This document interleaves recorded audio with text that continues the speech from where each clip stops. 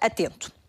Já todos fomos surpreendidos com uh, questões como os peixes têm sede, o sol apaga-se, as dúvidas das crianças na idade dos porquês são difíceis de responder, mas alguém pensou em si. Em si, olha, em mim, tenho uma criança de 4 anos e que me faz perguntas que eu nem sempre sei responder e, portanto, decidiu dar-nos uma ajuda. Vou apresentar os convidados para esta conversa. Isabel Castro Silva, coordenadora do projeto Trocado por Miúdos. Olá, Isabel, muito boa tarde, bem-vinda. O Manuel Matias, da Associação Aldeias de Crianças SOS. Olá, Manuel, bem-vindo também. Fátima. E o Dr. Pedro Vaz Santos, psicólogo clínico. Olá, Sr. muito boa tarde Olá, e bem-vindo a esta conversa. Oh, Isabel, eu para já, a Isabel vai explicar obviamente este projeto, mas eu como mãe tenho que começar por lhe dizer muito obrigada. Porque nas idades dos 4 anos sem o meu Filipe, quantas vezes eu fico pendurada nas perguntas porque não sei o que responder. Fale-me lá de como é que nasceu este projeto que é tão interessante. Ah, bom, eu tinha um livro dos porquês em miúda e agora que estou na parte editora pensei que, sendo uma editora escolar, uh, com muitos contactos nas escolas e com professores e com alunos, que seria fácil uh, juntar as duas coisas. E assim aconteceu, porque realmente o projeto correu muito bem. Uh, e o livro acaba por ser uma recolha de perguntas de crianças dos 6 aos 12 anos, portanto, perguntas reais das nossas crianças portuguesas, uh, que recolhemos através de um site. Uh, e as perguntas depois foram respondidas por especialistas das mais diferentes áreas. Vocês têm um painel de especialistas extraordinário. É verdade. De luxo. Por grande generosidade dos próprios. Foi, surpreendeu-me a mim uh, e foi muito gratificante também por isso, mas conseguimos contactar pessoas que são grandes especialistas nas suas áreas. Exatamente. Como o professor Alexandre Quintanilha, a professora Teresa Lago, uh, o João Canis, realizador, a Alice Vieira, a escritora, etc. E conseguimos que eles realmente. Mas sabe o que é que eu achei mais surpreendente, Isabel? É que para além de terem conseguido este um, naipe de especialistas, eles conseguiram uma coisa que não é fácil, nem sempre é fácil, escrever numa linguagem simples e acessível que depois nos ajude então a trocar por miúdos para os nossos filhos, porque se fosse uma linguagem muito complicada, nós depois ficávamos nós a patinar nessa mesma explicação, portanto também não acabava por não ser útil para ninguém. E eles lá explicaram isto de maneira clara. Sim, é um teste muito complicado, quer dizer, é muito difícil explicar coisas uh, de maneira muito simples. Ó, oh, eu tenho que lhe é perguntar uma coisa. E mais uma vez, bom, eu, eu demito-me do papel da apresentadora uhum. agora, se não se importam, e vou só assumir o papel de mãe. Está bem? É mais simples, porque assim a coisa uhum. fica eu fico mais à vontade. Doutor, nós não podemos responder aos nossos filhos quando a pergunta é uh, aquela pergunta que vem na sequência de mais 10. A 10 nós até respondemos, mas à décima primeira já não conseguimos. Eu pergunto, podemos dizer é assim porque é? Ou porque sim? Eu, eu, acho que depende muito, muito, muito do tema que se está a falar, não é? Mas agora também acho que o, o, o bom ou o bonito deste livro também é, é, notar que realmente os pais não têm a obrigação de responder a todas as perguntas. E há pouco nós falávamos entre nós um pouco, falava com a Isabel, a dizer realmente nós adultos, de alguma maneira, perdemos a coragem de fazer algumas perguntas simples. E, e porque se calhar ficamos com alguma vergonha de não sabermos alguns assuntos. É verdade. E aquilo que me parece mais importante é nós não termos vergonha face aos nossos filhos se nós, por vezes, não sabermos responder. Uh, agora, acho que é importante procurarmos respostas com eles. Claro por vezes há coisas que é porque sim, que nós não temos que saber a resposta e de vez em quando há conversas que não têm que continuar, como é evidente. Tem mesmo que ficar por ali. Já vamos perceber a presença do Manuel aqui e das aldeias SOS, mas Bem. eu lançava já o primeiro desafio, doutor. Vamos ouvir as perguntas dos pequenos e ouvir as suas respostas, naturalmente. Vamos começar. Porquê que os portugueses conseguem falar outras línguas bem e as outras pessoas de outras línguas não conseguem falar bem português? Ora, doutora, então porquê é que nós somos poliglotas e os outros não são? Eu acho nossa que língua. o fantástico da pergunta é Primeiro é repararmos como é que os miúdos tão, no, tão novos têm uma sensibilidade tão grande para as questões da comunicação e da fala. É verdade. É? Eles estão muito preocupados como é que nós comunicamos uns com os outros. E as pequenas diferenças sinalizam de imediato, não é? Uhum. Hoje há imensas explicações técnicas, muito tem a ver, eu não sou especialista da área, mas penso muito nas colegas de trabalho de terapia da fala, tem muito a ver com a aquisição dos sons de fala, que na nossa língua é muito rica, nós temos uma série de sons de fala e outras línguas eh, a variabilidade de sons de fala são menores. Portanto, na aquisição de segunda línguas Há diferenças, obviamente. Mas eu sublinho esta particularidade, que eu acho que é fantástica dos miúdos, que é esta sensibilidade a reparar como é que as pessoas falam, como é que as pessoas comunicam. Porque depois, muitas vezes, o que eu vejo na clínica são miúdos que, de alguma forma, que, de alguma forma são discriminados. Porque ou que têm gaguez, ou porque falam de outra forma, claro. ou porque são menos expressivos, ou porque a comunicação verbal não é tão constante com a comunicação não verbal. E, portanto, há aqui uma preocupação e é muito interessante como os miúdos estão tão preocupados. Vamos a outra pergunta. Porquê é que nós não podemos sair de casa com um desconhecido? Porquê é que nós não podemos sair de casa com um desconhecido, doutor Pedro? Eu sei a resposta, mas eu quero ouvi-la de si. eu acho acima de tudo, porque nós ensinamos aos nossos filhos, desde muito pequenos, o que é que é seguro e o que é que não é seguro. E porque nós esperamos, não é, que os miúdos, numa idade muito, muito, muito pequenina, consigam discriminar as pessoas de referência, as pessoas de preferência, dos estranhos. Nós, quando os bebés são pequeninos, dizemos que há uns bebés fáceis, que vão com todos. Mas o que é natural, obviamente, é que durante o primeiro ano de vida, os bebés, claramente, prefiram as figuras conhecidas, a claro. mãe, o pai, aos estranhos. E isso é ensinado pela segurança dos miúdos. E, portanto, na prática, o que nós estamos a ensinar aos miúdos é a distinguir uhum. e a fazer escolhas. Porque quando eu lhe faço estas, é quando lhe coloco, ouvimos estas questões, aliás, doutor, a questão nem é o doutor estar a responder, até porque há algumas aqui que, perguntas uhum. que não são da sua área. Eu vou Tem, responder. Exatamente. É como é que nós explicamos isto aos nossos filhos? Porque Sim. eu encontrei algumas perguntas aqui feitas pelos meninos eu não faço a mínima ideia, não sou da área da ciência, eu nunca estudei o espaço com o pormenor com que eles querem saber e, portanto, há coisas que nós não sabemos responder. E uhum. quando assim for, se calhar respondemos como o doutor disse no início olha, eu vou procurar informação, o pai não sabe, vai tentar saber. Uhum. Ficamos por aí, não é? é e, e, principalmente, mas o que eu acho que é importante é nós validarmos sempre este interesse dos miúdos a quererem saber mais. Portanto, este gosto dos porquês, este gosto da investigação científica, este gosto por perceber Uh, o que é este mundo, uh, uh, para onde é que vamos, mesmo as, as, perguntas mais filosóficas que nos, muitas vezes nos deixam sobressaltados. Acho que estes, estes porquês são tão humanos, são tão naturais, que, no meu ponto de vista, devem ser mesmo reforçados. Mesmo que nós não sabemos a resposta, sabemos a resposta, temos de trabalhar lado a lado com os miúdos para eles encontrarem sentidos.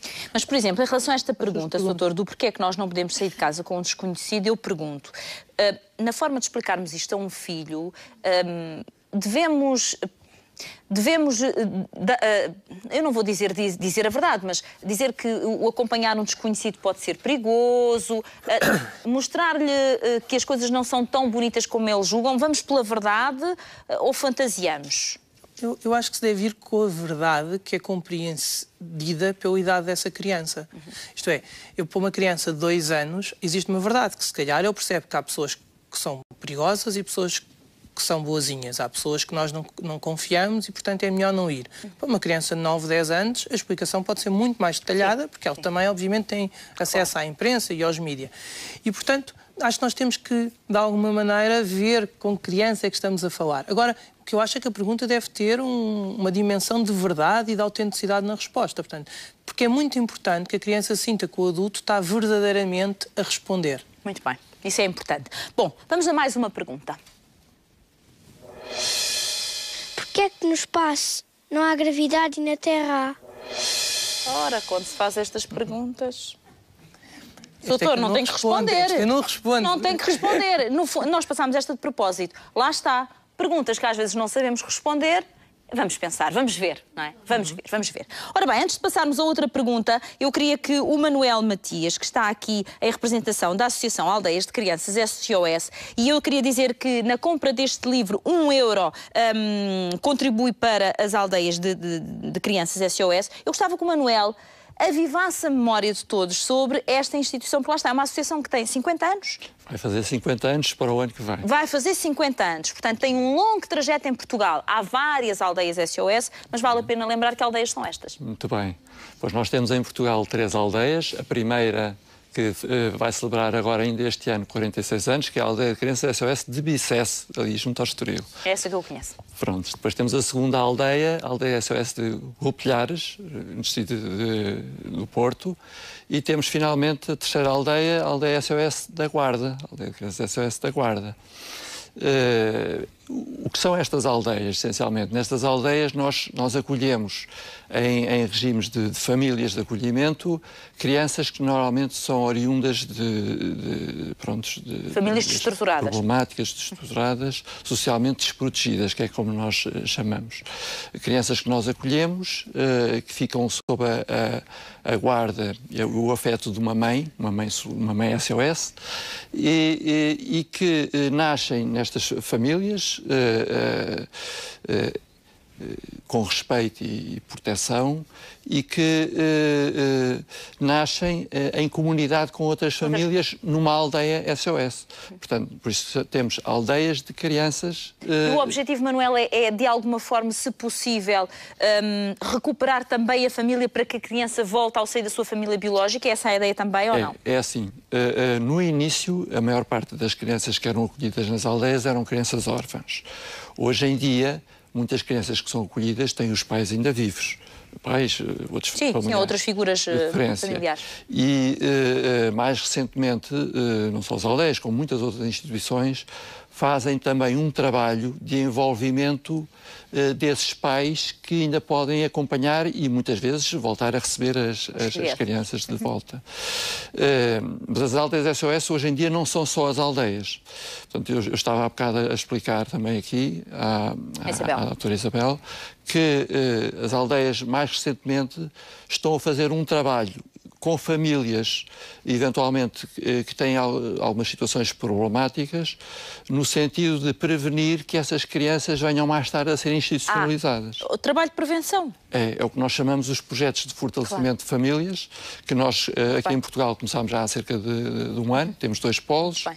um em Rio Maior e outro na Guarda, precisamente a, a, a funcionar, e eh, com os quais eh, proporcionamos aos pais certos determinados cuidados parentais que em, em, em, conjunto com também com as autarquias, eh, com a Segurança Social, com as, as comissões locais de, de, de proteção, de, de jovens em risco, eh, fazemos um trabalho todo de parceria para ajudar os pais e os, e os seus filhos claro. a aproveitarem as, as, as potencialidades uh, do, do, tecido económico e social. Exatamente. É porque, na verdade, isso é o que faz mais sentido, ou seja, enquanto for possível recuperar uma família e que esta família possa ser um, enfim, um, um local um, uh, seguro para criar esta criança é sempre o preferível, obviamente. O, o ter que retirar a criança seio, no seio da família é já sinal de que as coisas estão hum, muito mal. E depois há todo um trabalho que às vezes é possível, outras vezes não, de recuperação dessa família. Portanto, eu quero recordar aqui os nossos espectadores que, se uh, comprarem este livro e os que puderem comprar, façam-no, por favor, porque vão ter uma agradável surpresa. Já sabem que um euro reverte então a favor das aldeias SOS.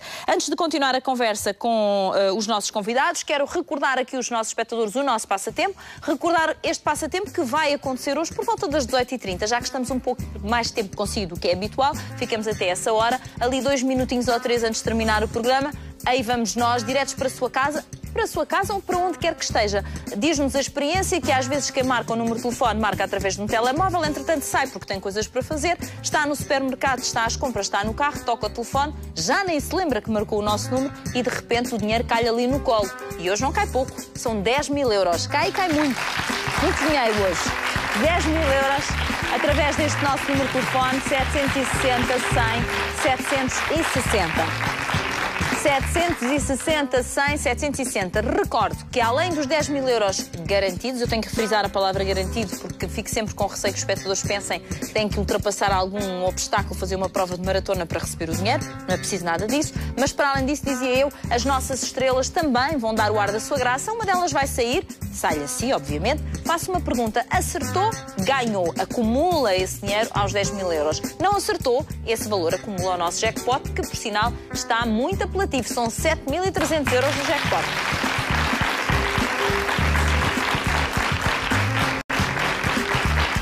O número aqui fica 760, 100, 760. Continua a marcar 760, 100, 760. Vá marcando assim várias vezes, várias vezes. Muito bem. Não resisto em perguntar uma coisa à Isabel. Oh, Isabel, obviamente foi necessário fazer uma triagem das perguntas, porque o livro não podia ter todas. Quantas receberam no total? 1670 e. 1600. Valha-me Deus. E portanto fez-se uma triagem de quantas? 700 e qualquer coisa, não foi? Ou, ou, não foram tantas? Ah, não, não. Estas já foram, são aquelas depois da triagem. Então antes da triagem? Antes da triagem foram 2 mil e qualquer coisa. Muita Pessoas coisa querem saber os sim, pequenitos. não estavam dentro das idades, ou essas foram excluídas. E, portanto, no final, eh, depois de passar bem na peneira, ficaram quantas? 1678. E depois no livro 117. se não engano. 117. É muito bom. 117 respostas já nos anima como pais, não é? Eu acho que já nos anima. Ora bem, vamos então ouvir mais uma pergunta dos nossos pequenitos. Temos sentimentos. Ai, valha-me Deus. Doutor Pedro, porquê é que temos sentimentos? Se quiser responder, doutor Pedro, não é sei obrigado a é. responder a nada. Esta é aquela de eu dizer, pronto, era bom estar um especialista para falar de sentimentos. Exatamente. Pode dizer sempre que quiser. Tem todo Posso dizer direito. sempre que quiser. Sim. Ahm, eu acho que nós temos sentimentos, primeiro, e aquilo que há pouco falava, para podermos comunicar, para podermos falar so- sobre o que é que nós sentimos, sobre quem é que nós somos. E depois, porque nós falando sobre como é que nós nos vamos sentindo, sobre os diferentes estados até fisiológicos do nosso corpo, nós conseguimos acalmar. Portanto, nós conseguimos regular-nos a nós próprios. E crescer é um pouco isso. É quando nós dizemos que temos de trabalhar as emoções com as crianças, temos que ensinar de alguma maneira às crianças a conhecerem-se a si próprias, conhecerem o que é que estão a sentir, darem palavras, darem nome às coisas que estão a sentir, porque nós achamos que eles ficam mais autónomos. Sim. Porque se conseguem se auto-acalmarem. Talvez, se calhar, isto é pelo menos, pelo menos um bom motivo para nós termos sentimentos. E depois, só, e dizer só outra coisa pequenina, pequenina, porque eu também acho que é muito importante termos sentimentos, e eu já falei de comunicar, porque é muito bom nós partilharmos o que sentimos. Sim, a partilha aqui é importantíssima. Exatamente. Ó, doutor, mas há perguntas tão desconcertantes. Ora, veja esta. É a sensação de estar morto? E reparem que o tamanho ele devia ter, não sei, 5 anitos para aí. Qual é a sensação de estar morto? Ora, se ainda não passámos por lá, como é que se responde? Doutor, quer dizer alguma coisa? O que Eu, quiser. eu acho que esta é é uma pergunta ex- excepcional. E é Extraordinária. fanta- É, extraordinária. Porque, porque também implica uma resposta que eu acho que é extraordinariamente simples, mas muito forte, que é nós verdadeiramente não sabemos. E acho que isto pode ser extremamente educativo. É nós dizermos aos miúdos que há coisas que nós, adultos, Não verdadeiramente não sabemos. Que há um mito neste, para o conhecimento. Ah, isto limita-nos, enquanto espécie, enquanto pessoas. E acho que é extremamente educativo. Acho uma pergunta fantástica. Doutor, e há perguntas que nós sabemos, mas não temos muita vontade de explicar. Vamos ver. Porquê que uns pais gostam dos filhos e os outros não? Ok. Não é fácil explicar isto. É. Eu, eu também não Principalmente ter esta sei. consciência. Eu acho que há duas coisas aqui. Uma coisa é se há pais que verdadeiramente gostam ou não gostam dos filhos. Se calhar não quero ir por aí, mas há meninos e meninas, não é? há crianças que se sentem mais ou menos gostadas, que se sentem-se mais ou menos preferidas. Pondo desta maneira. Ah, e isso muitas vezes é preciso tentar perceber porque é que tu te sentes mais ou menos gostado. No- Todos nós temos o nosso próprio medidor muito, muito pessoal do que é que é sermos gostados ou não sermos gostados. Claro. E portanto é percebermos um bocadinho como é que nós estamos a medir eh, este ser gostado ou não ser gostado. E acho isso um trabalho ótimo para quem quer conhecer alguém, e os pais obviamente querem conhecer os filhos, perceberem como é que os filhos medem as suas relações. Acho Sem dúvida. Bom, poderíamos ter aqui muito mais perguntas, mas na verdade estas perguntas existem no livro. Ó Isabel, não resistem em perguntar-lhe o seguinte: se por acaso depois deste projeto está outro preparado, está outro na calha, porque dados os, os resultados que são tão interessantes e dada a história da Porto Editora, que é sem dúvida uma editora muito ligada ao ensino, às nossas crianças, enfim, acho que todos nós pais conhecemos muito bem a Porto Editora, há alguma coisa na calha que se possa aqui desvendar ou não? Neste momento ainda estamos à espera para ver qual será o percurso deste livro que acabou de sair para as livrarias, não é? Mas eu acho que, tendo em conta o interesse tanto das crianças como dos autores, dos vários especialistas, acho que é perfeitamente plausível pensar num segundo volume. E eu espero que aconteça, porque realmente foi muito gratificante fazer, fazer este livro. Bom, da minha parte já lhe garanti. Vou levar um para a escola para que se calhar a educadora do meu filho tenha outras ferramentas, não é? Para os outros meninos também. E eu, obviamente, como mãe já o li, mas acho que é extremamente importante. E volto a dizer muitos parabéns por esta obra. Manuel, que continuem o extraordinário trabalho que as aldeias SOS já nos habituaram nestes 50 anos e, do, enfim, o trabalho que têm feito junto de tantas crianças. Doutor, muito obrigada, até por ter que encarar aqui algumas destas perguntas, que a resposta, olhe, fica aí, fica no ar. Muito obrigada. Obrigado. Eh, Em nome das aldeias, em nome das aldeias, eu queria agradecer também muito à Porta Editora por se ter lembrado de nós e para uh, exprimir o quão grato foi para nós uh, participar neste projeto, uh, com o qual iremos fazer muita reflexão, inclusive com as nossas crianças. Porque achamos que é uma ferramenta de trabalho muito útil, muito interessante. Uh, com um painel de autores que foi muito bem selecionado, temas muito pertinentes e, e, com certeza que é da nossa parte, e muito obrigado mais uma vez, que as crianças vão. As crianças agradecem, exatamente. Um grande aplauso, muito obrigada.